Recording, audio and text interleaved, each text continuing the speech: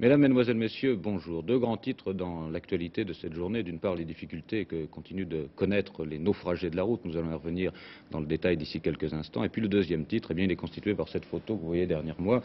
C'est la photo d'un stade, le stade de Glasgow. Et dans ce stade, il y a eu hier 66 morts et 108 blessés. C'était le premier match de football euh, de l'année, une rencontre qui est toujours explosive là-bas et qui opposait les deux équipes euh, de Glasgow, les Rangers et le Celtic. Euh, l'atmosphère est à chaque fois surchauffée. En cette circonstance, il y avait déjà eu de graves incidents d'ailleurs lors des précédentes rencontres les, années dernières. Et dans ce même stade d'Ibrox, il faut dire que les querelles de religion viennent un peu compliquer encore euh, l'ardeur des supporters. Les protestants soutiennent les Rangers et les catholiques soutiennent le Celtic.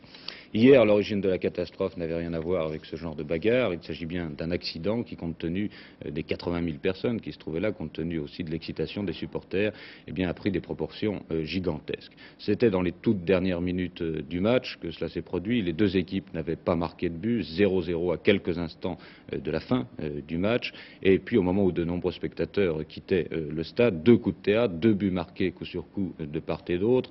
du coup, la foule revient. Il y a un mouvement de euh, d'autres qui veulent sortir, une personne commence à tomber, une seconde, et puis finalement c'est la bousculade. Dans l'escalier 13, la foule perd l'équilibre et dévale les gradins. La rampe de l'escalier elle-même finit euh, par craquer à son tour. Finalement, je vous l'ai dit, 66 personnes euh, trouvent la mort dans la bousculade, il y a 108 blessés. Ce qui est frappant aussi, c'est que ce drame s'est déroulé presque dans l'indifférence. les 80 000 spectateurs étaient en train d'applaudir le dernier but. Ils n'ont pratiquement pas entendu ce qu'il se passait du côté de l'escalier 13.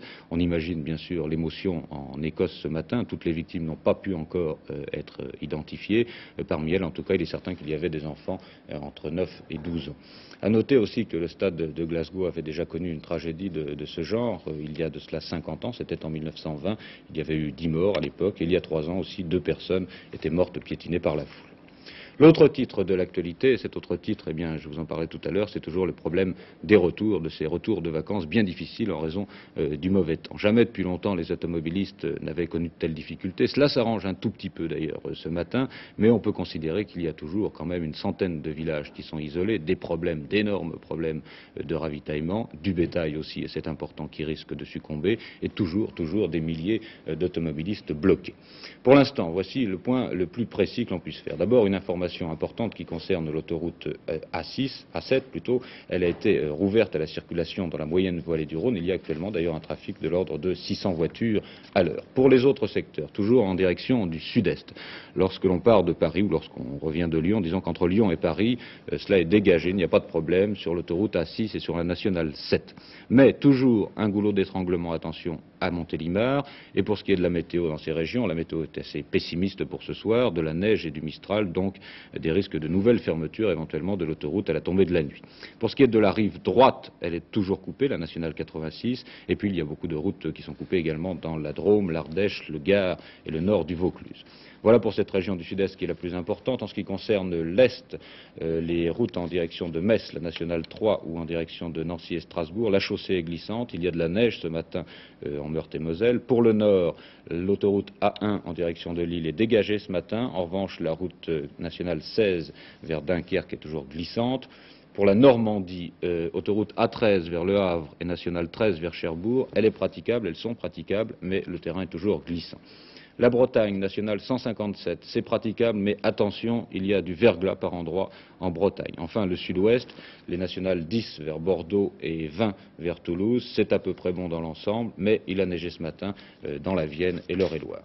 Le point le plus critique, vous le voyez, reste toujours bien sûr situé dans la vallée du Rhône. Le préfet de la Drôme a d'ailleurs tenu à préciser dans un communiqué euh, que sept hélicoptères, l'un basé à Montélimar et les six autres à Valence, avaient tourné toute la journée d'hier et procédé à des missions d'évacuation et de ravitaillement. En effet, les villages euh, qui avaient besoin de médicaments ou de, nourriture avaient disposé de larges couvertures euh, rouges sur les places publiques de façon à appeler ces hélicoptères parce que dans bien des cas, il n'y a même plus de téléphone.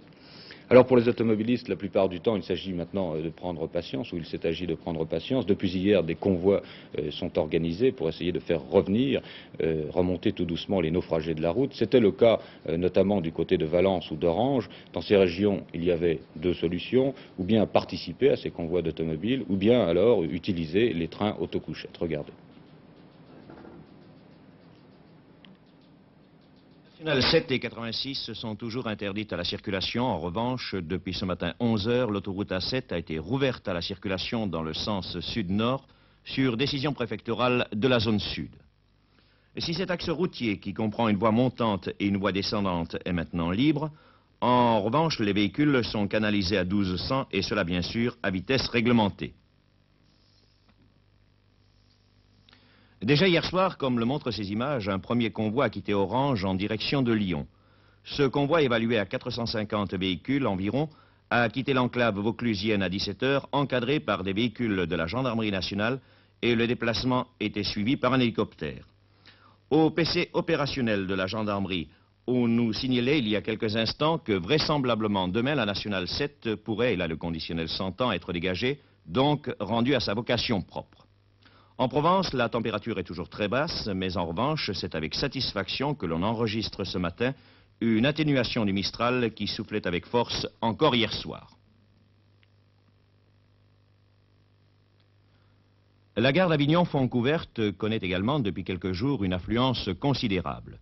Tous les records du nombre des trains ont été battus et ce, dans les deux sens.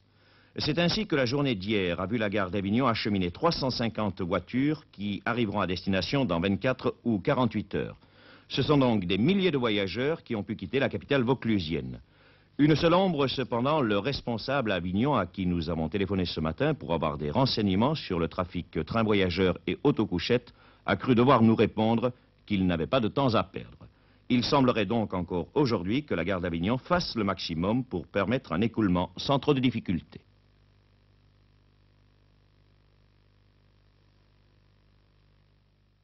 En gare de Grenoble, en cette fin de vacances, le retour des skieurs s'est passé sans trop de problèmes.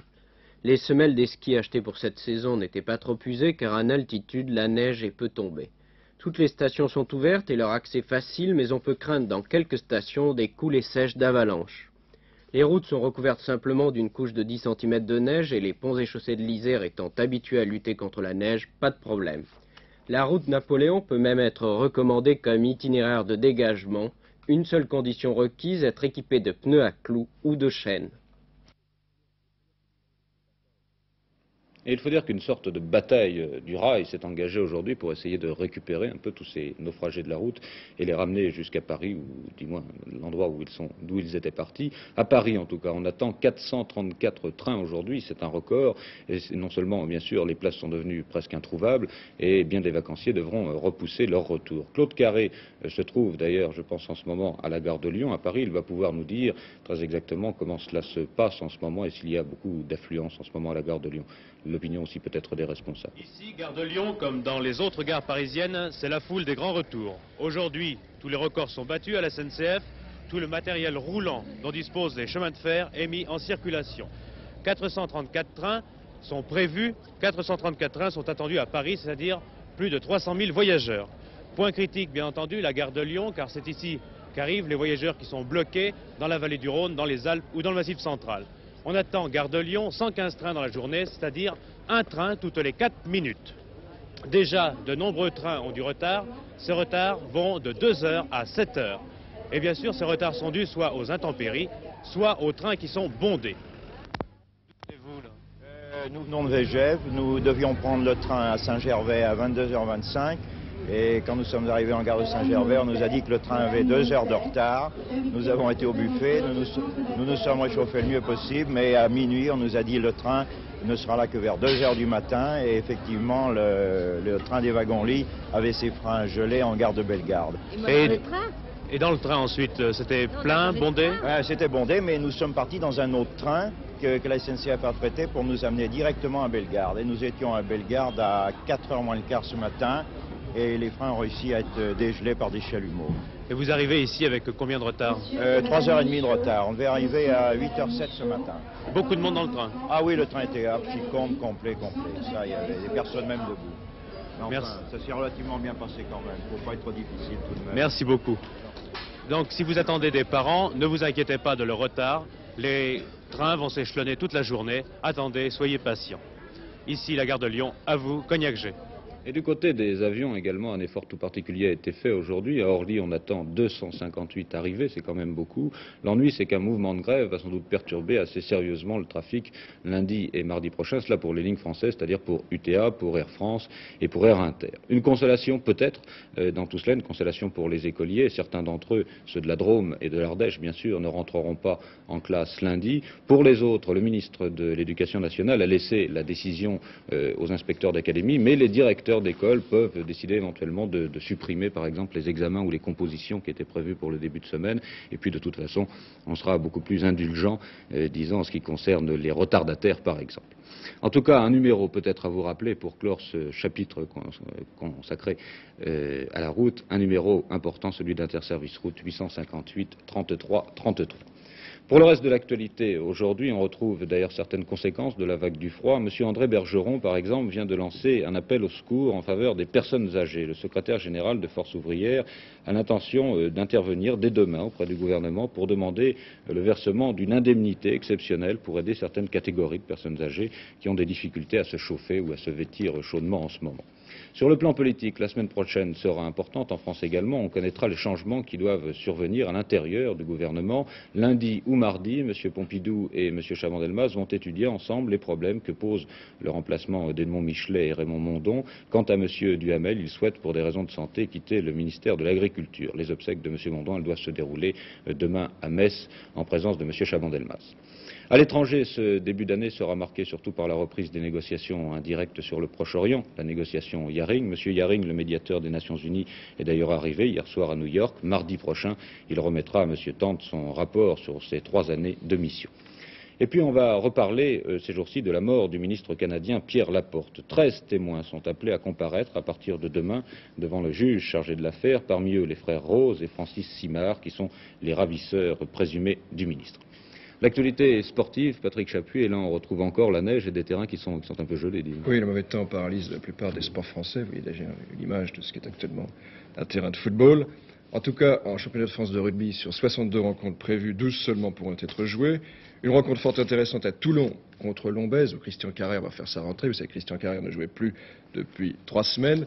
Une rentrée importante, car c'est demain que sera connue la formation de l'équipe de France de rugby qui doit affronter l'Écosse le 16 janvier et Christian Carrère va décider lui-même s'il est capable ou non de jouer ce match.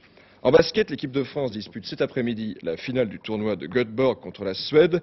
La France, hier soir, a largement dominé l'Angleterre, 115 à 58, après avoir vendredi soir battu la Finlande par 92 à 80. Et puis, il y a ce scandale de boxe dont nous parlions tout à l'heure. Vous savez que José Manuel Hurtin fait encore beaucoup parler de lui.